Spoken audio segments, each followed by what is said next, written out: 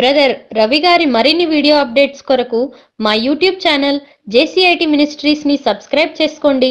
Bell button click చేయండి. Mark సువార్త పదిహేనో అధ్యాయము. మార్కు సువార్త పదిహేనో అధ్యాయము. నలభై నాలుగో వచనంలోని ఒక సంగతి రాయబడిందండి. నలభై నాలుగో వచనం. పిలాతు ఆయన ఇంతలోనే చనిపోయినా అని ఆశ్చర్యపడి ఒక శతాధిపతిని తన యొద్దకు పిలిపించి ఆయన ఇంతలోనే చనిపోయినా అని అతనిని అడిగను అని ఉందండి పిలాతు ఈ సంగతి మనందరికీ తెలిసినటువంటి సంగతి. యేసు ప్రభువుల వారు మరణించిన తరువాత యేసు ప్రభువుల వారి మరణం గూర్చినటువంటి వార్త పిలాతు విని పిలాతో ఆశ్చర్యపోయినట్టుగా రాయబడిందండి. ఆ మాట చూడండి ఒకసారి. ఆయన ఎంతలోనే చనిపోయినా అని ఆశ్చర్యపడి ఒక శతాధిపతిని తన యొద్దకు పిలిపించి ఆయన ఎంతలోనే చనిపోయినా అని అతనిని అడిగను అని రాయబడింది. అంటే ఇక్కడ పిలాతు ఎందుకు ఆశ్చర్యపడ్డాడు? యేసుప్రభుల వారి మరణాన్ని చూసిన వెంటనే మరణాన్ని విన్న వెంటనే మరణ వార్త వినగానే పిలాతు ఎందుకు ఆశ్చర్యపోయాడు? చాలామంది ఈరోజు ఇస్లాం సహోదరులు ఏమంటున్నారంటే అసలు ఆయన చనిపోలేదండి ఒకవేళ కనుక చనిపోయి ఉండుంటే అసలు పిలాతు ఆశ్చర్యపడిపోవటం ఏంటి? ఇదంతా కూడా అల్ ఏమంటారు? కల్పితం అని అంటున్నారండి.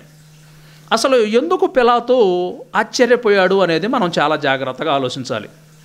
పిలాతో ఆశ్చర్యపోవటానికి కొన్ని కారణాలు ఉన్నాయి ప్రియమైన దేవుని పిల్లలారు. యేసు ప్రభుల వారిని అసలు ఎన్ని గంటలకు సిలువేశారు అని జాగ్రత్తగా ఆలోచిస్తే మార్కు సువార్త పదిహేనో అధ్యాయము మార్కు సువార్త పదిహేను అధ్యాయము ఇరవై ఐదో వచనంలో కనుక చూస్తే ఇరవై ఐదో వచనంలోని ఒక సంగతి రాయబడింది. ఆయనను సెలవు వేసినప్పుడు పగలు తొమ్మిది గంటలు ఆయను అన్న మాట రాయబడింది. యేసు ప్రభుల వారిని సిలువ వేసినప్పుడు ఎన్ని గంటలు పగలు తొమ్మిది గంటలు అంటే ఉదయం తొమ్మిది గంటలకే యేసు ప్రభుల వారిని సెలవు వేశారు. యేసుప్రభుల వారిని సిలువేసిన తర్వాత యేసు ప్రభుల వారు ఎన్ని గంటల తర్వాత మరణించారు అనేది మనకి సహజంగా తెలిసినటువంటిది. అది ముప్పై మూడో వచనంలో రాయబడింది చూడండి.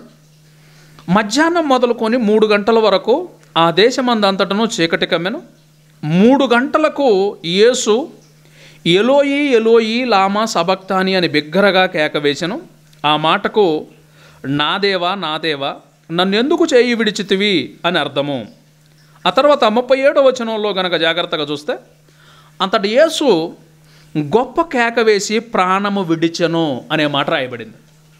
ఎన్ని గంటల తర్వాత ప్రాణం విడిచారు అని అంటే మధ్యాహ్నం మూడు గంటల తరువాత ప్రాణం విడిచినట్టుగా ఉంది. ఉదయం తొమ్మిది గంటలకు సిలువెక్కినటువంటి ప్రభు మధ్యాహ్నం మూడు గంటల తర్వాత. అంటే సుమారుగా ఎన్ని గంటల వరకు ఉన్నట్టు? అంటే సుమారుగా ఆరు గంటల కాలం పాటు యేసుప్రభుల వారు సిలువలో ఉన్నారు. ఆరు గంటల పాటు. ఉదయం తొమ్మిది గంటల నుంచి మధ్యాహ్నం మూడు గంటల వరకు. అంటే ఉదయం ఆ సమయంలో అంటే సుమారుగా ఆరు గంటల పాటు ఉన్నారు. ఆరు గంటల పాటు ఉన్నటువంటి ఈ యేసుప్రభుల వారు మూడు గంటల తరువాత ఆరు గంటల పాటు సిలువ మీద ఉన్నారు. మూడు గంటలు అంటే మధ్యాహ్నం మూడు గంటల తరువాత పెద్ద కేక వేసి తన ప్రాణాన్ని విడిచారు. తన ప్రాణాన్ని విడిచారు. అయితే ఇక్కడ మనం బాగా గమనిస్తే యేసుప్రభుల వారితో పాటు ఇద్దరు ఉన్నారు ఆల్రెడీ. దొంగలు ఖైదీలు అక్కడ ఆల్రెడీ అదే శిక్షను అనుభవిస్తున్నారు. వాళ్ళు అప్పటికే ప్రాణం విడవలేదు. యేసుప్రభుల వారు మాత్రమే ప్రాణం విడిచారు. ఆ ప్రాణం విడిచిన సంగతి ఈ పిలాతకు తెలిసింది. పిలాతుకు కూడా ఎందుకు తెలిసింది అని అంటే ఆల్రెడీ అక్కడ ఉన్నటువంటి ఒక ధనవంతుడు ఒక ధనవంతుడు ఘనత వహించిన ఒక సభ్యుడై ఉండి అనే మాట రాయబడింది చూడండి ఒకసారి. నలభై రెండో వచనం. ఆ దినము సిద్ధపరుచు దినము అనగా విశ్రాంతి దినమునకు పూర్వదినము కనుక సాయంకాలం అయినప్పుడు అరిమత్తయ్య యోసేపు తెగించి పిలాతునొద్దకు వెళ్ళి యేసు దేహము తనకెమ్మని అడిగను. ఏమడిగారు? యేసు దేహము అని అంటున్నారు. యేసుక్రీస్తు దేహము అని అనగానే చాలామంది దీన్ని కూడా తప్పుగానే అర్థం చేసుకున్నారు. చనిపోతే డెడ్ బాడీ అనాలి కానీ దాన్ని బాడీ అని అంటారు ఏంటండి? దేహము అని అనకూడదు అది శవము అని అడగాలి అని అంటున్నారు. అయితే ఇక్కడ ఈ సంగతులన్నింటినీ కూడా వక్రీకరించి చాలామంది చెబుతున్నటువంటి మాట ఏంటి అని అంటే చాలామంది కూడా ఈ యేసు ప్రభుల వారు అసలు సిలువలో మరణించలేదు అనే పరిస్థితి వచ్చేస్తుంది. దానికి కారణం పిలాత్ ఆశ్చర్యపోయినట్టుగా రాయటం లేకపోతే ఈ అరిమత్త యోసేపు అనేటటువంటి వ్యక్తి ఇదిగో ఆ దేహమును తనకివ్వమని అడగటం ఇవన్నీ కూడా చేస్తూ ఉన్నారు ప్రియమైన వారు వీటన్నిటికీ కూడా కారణాలు ఉన్నాయి. అసలు ముందుగా పిలాతు పిలాతు ఎందుకు ఆశ్చర్యపోయారు? అని అంటే పిలాతు ఒక అధికారి. గలిలయ సమరయ యోదయ అనేటటువంటి ప్రాంతాలు ఉన్నాయి. యోదయ అనే ప్రాంతానికి అధిపతి ఈ పిలాతి. ఈ పిలాతు రోమన్ చక్రవర్తుల కాలంలో ఉన్నటువంటి ఒక గవర్నర్ లాంటివారు ఆ గవర్నర్ ఎందరికో మరణశిక్ష విధించారో ఆ మరణశిక్ష విధించిన వారిలో ఆ దినాన మరణశిక్ష పొందిన వారు ముగ్గురు. ఆ ముగ్గురులో యేసుక్రీస్తు ప్రభుల వారు ఒకరు. ఎందరికో మరణాన్ని మరణశిక్షను విధించినటువంటి పిలాతు జీవితంలోని ఎన్నో చూశాడు. ఆ చూసినటువంటి తర్వాత కూడా అయితే కామన్గా ఒక వ్యక్తి సిలువ వెక్కినప్పుడు సిలువ వేయబడిన తర్వాత ఆ వ్యక్తి సహజంగా ఆరు గంటల్లో చనిపోరండి. సహజంగా ఒక వ్యక్తి ఆరు గంటల్లో చనిపోరు. ఒక వ్యక్తి మరణించడానికి సుమారుగా ఆరేడు రోజులు పడుతుంది సిలువెక్కిన తర్వాత. ఒకవేళ కనుక అనారోగ్యం పాలైన వ్యక్తి అయినా కూడా సుమారుగా తక్కువలో తక్కువ రెండు రోజులు పడుతుంది. రెండు రోజుల కాలం పాటు పడుతుంది. అయితే వీళ్ళకి సిద్ధపరుచు దినానికి ముందటి దినము.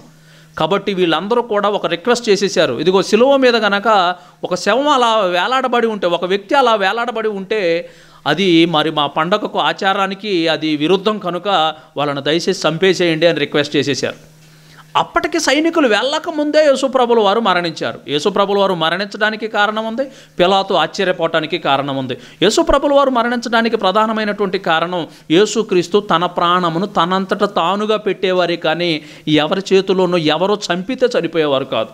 అందుకే యేసుప్రభుల వారు అనేక ఉపమానాలు చెబుతూ నేను గొర్రెలకు మంచి కాపరిని మంచి కాపరి తన గొర్రెలకు తన గొర్రెల కొరకు ప్రాణము పెట్టును అని ఆ మాట చెప్పి ఇదిగో నా ప్రాణాన్ని నా అంతట నేనే పెడుతున్నాను దానిని తిరిగి తీసుకొనుటకైనను దాన్ని పెట్టుటకైనను నాకు అధికారం కలదు అని అన్నారు.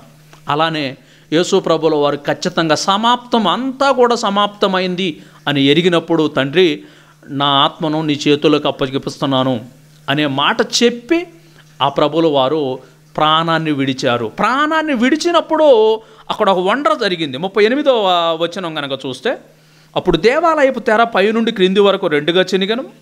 ఆయనకి ఎదురుగా నిలిచి ఉన్నటువంటి శతాధిపతి ఆయనకు ఎలాగూ ప్రాణము విడుచుట చూసి నిజముగా ఈ మనుషుడు దేవుని కుమారుడే. ఒక సాక్ష్యం చెబుతున్నారండి. డైరెక్ట్ విట్నెస్ యేసు ప్రభుల వారి మరణానికి ప్రత్యక్ష సాక్షిగా ఈ శతాధిపతి కనిపిస్తూ ఉన్నారు. అతను చూశాడు అతనే శిక్షను అమలు చేశాడు. అతనే శిక్షను అమలు చేశాడు చూశాడు ప్రాణం విడవటం చూశాడు. వీళ్ళందరూ కూడా యేసు ప్రభును అనుసరించిన వారు కారు. యేసుక్రీస్తు శిష్యులు అంతకంటే కారు. యేసుక్రీస్తు గురించినటువంటి వివరణ తెలిసిన వారు కారు. ఈ శతాధిపతి ఆయన అలా మరణించటం చూశాడు. ఆ శతాధిపతి కంటే గొప్పవాడు పిలాతు. ఈ పిలాతుకు రిక్వెస్ట్ పెట్టింది ఎవరు అనంటే అరిమత్తయ్య అనేటటువంటి యోసేపు.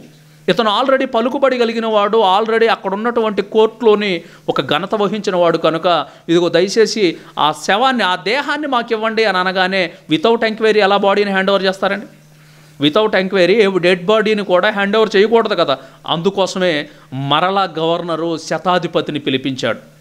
అంటే ఈ అరిమత్త యోసేపు ఏం చెప్పాడనమాట? అయ్యా ఆయన ఆల్రెడీ చనిపోయాడు ఆ దేహాన్ని మాకు ఇవ్వండి అని అడిగాడు.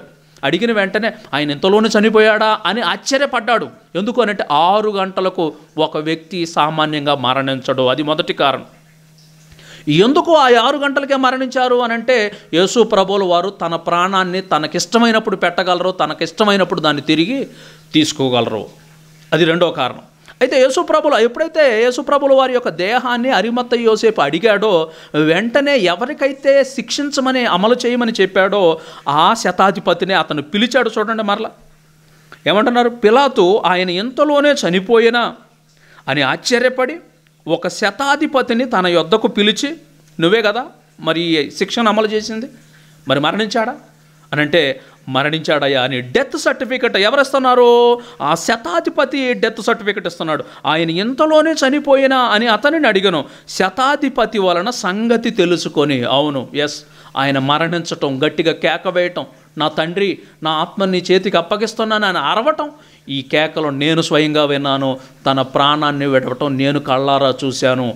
అదే కాదు ఆ తర్వాత ఉన్నటువంటి సైనికులు బల్లెపు పోటు పొడిచేటప్పటికీ ఆయన ఆల్రెడీ ఇతరుల కాళ్ళు పక్కన ఉన్నటువంటి ఖైదీల కాళ్ళు విరగొట్టుతున్నప్పటికీ ఆయన మరణించాడు.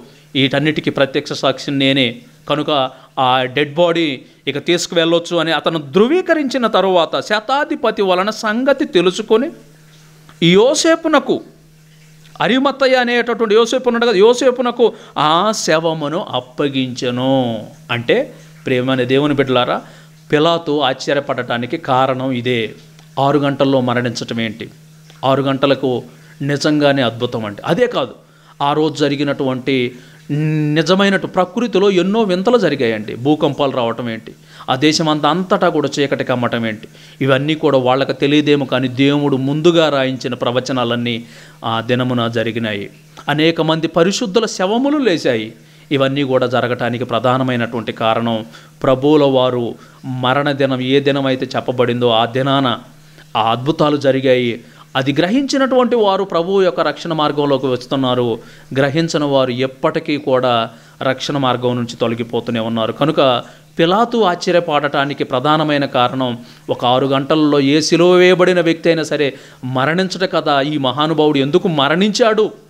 అన్నటువంటి ఆలోచనకి మొదటిదైతే ఆ ప్రకృతిలో జరిగినటువంటి వింతలు ఆ విడ్డూరాలు ఆ దేవాలయంలో తెర చినిగిపోవటం వీటన్నిటికీ కూడా నిజంగానే అతను ఆశ్చర్యపడిపోయాడు. ఆయన దేవుని కుమారుడు ఈ లోకానికి రక్షకుడు అన్న సంగతి తెలియకపోయినా కూడా ఈయన నిజంగానే దేవుని కుమారుడు అన్న సంగతి ఒక అన్యుడైనటువంటి శతాధిపతి నోట ఒక సాక్ష్యాన్ని మనం వింటున్నాం ప్రియమైన వాళ్ళ కనుక ప్రభువులు వారు చేసినటువంటి త్యాగాన్ని మనం జ్ఞాపకం చేసుకొని మన జీవితాలను ఇంకా ప్రభువులు బలంగా ముందుకు తీసుకువెళ్తూ మరి ప్రభువుకు దూరం అవుతున్నటువంటి బిడ్డలందరినూ కూడా రక్షించి ప్రభు చెంతకు తెచ్చేటటువంటి పనులు ఇంకా ముందుకు పోదండి దేవుడు మిమ్మల్ని దీవించనుగాక.